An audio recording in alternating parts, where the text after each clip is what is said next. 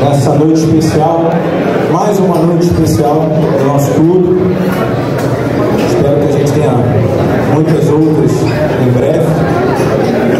Vou iniciar, enfim, primeiramente fazendo alguns agradecimentos aqui. Hoje a gente está inaugurando o nosso museu do Fluminense.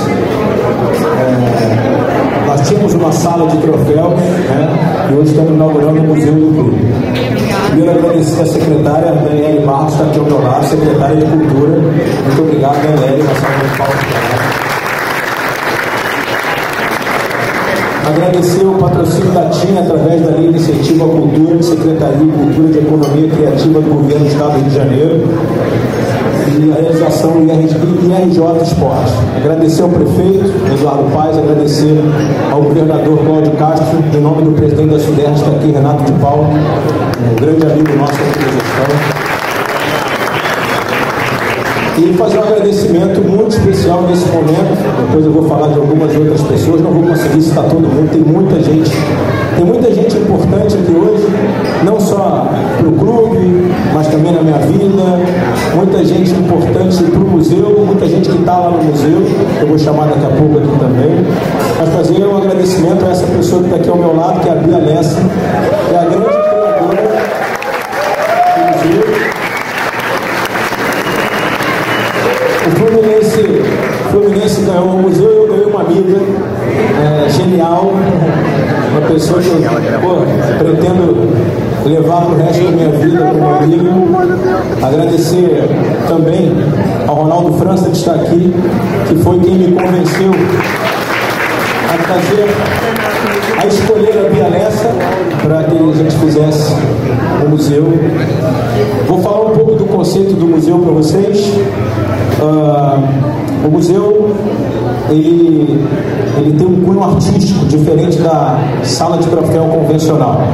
Quando a gente pensou no museu, na verdade, quando eles pensaram no museu e vieram me comunicar, é, a pegada é uma pegada artística. E por que isso? Porque o Fluminense não é só um clube de futebol uh, vencedor gigantesco no campo, na sua torcida e nas suas taças, mas sim na sua história, culturalmente, artisticamente. Então é um museu que passa por música, passa por arte, por poesia, por literatura, por grandes artistas e, obviamente, pelas nossas gigantescas e inúmeras conquistas. Então, quando vocês entrarem lá hoje, vocês vão ver algo diferente de tudo aquilo que vocês já viram numa sala de troféus convencional uh, de um clube de futebol. Porque, como eu disse a vocês, a gente se preocupou com a história. Eu, hoje, numa entrevista que eu dei para alguns jornalistas aqui antes para apresentar o museu, me perguntaram quando começou esse museu. Falei 1902. O museu ele começa em 1902. É, tem muita coisa aí, ali dentro que não é só futebol e que mostra a grandeza do nosso clube. Como, por exemplo, vou falar de uma delas, recente, a nossa atuação na pandemia, o que a gente fez, é, a quantidade de pessoas que a gente ajudou, né? fora outras grandes histórias é, que a gente vai ver lá dentro daqui a pouco. Não vou dar muito spoiler, mas daqui a pouco vou passar a palavra para a Bia, ela falar um pouco com vocês.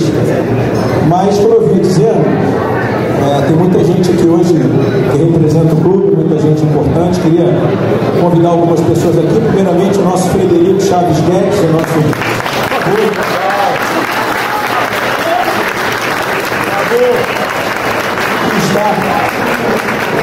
Que está representado no museu. Queria convidar o nosso Abel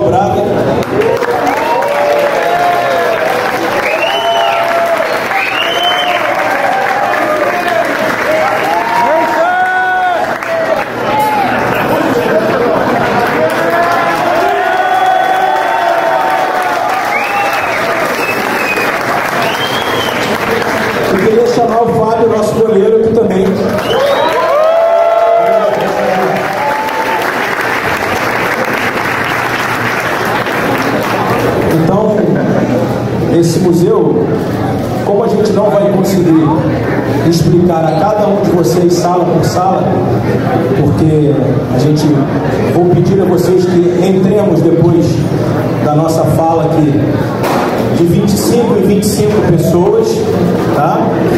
Para que possam ver e depois certamente terão que voltar aqui, porque o museu é um museu é, com muita interatividade, vou falar um pouco delas, e é preciso retornar aqui depois, para que se olhe cada objeto, cada conquista, cada taça, cada história, né? Mas eu vou ir, ir fazer um pedido também, que já buzinaram aqui no ponto eletrônico, não poderemos entrar, obviamente, carregando copos, comida, etc., dentro do museu. E vou pedir paciência a vocês, é, que falando, falemos de 25 e 25 pessoas. Tá? Vou passar para a Daniele, vou passar para a Bia, vou passar para todos eles, depois vou finalizar falando do conceito geral do museu, vamos ouvir o nosso hino. E depois do museu é para que vocês terminem a visita e a gente volte para cá para continuar o coquetel. E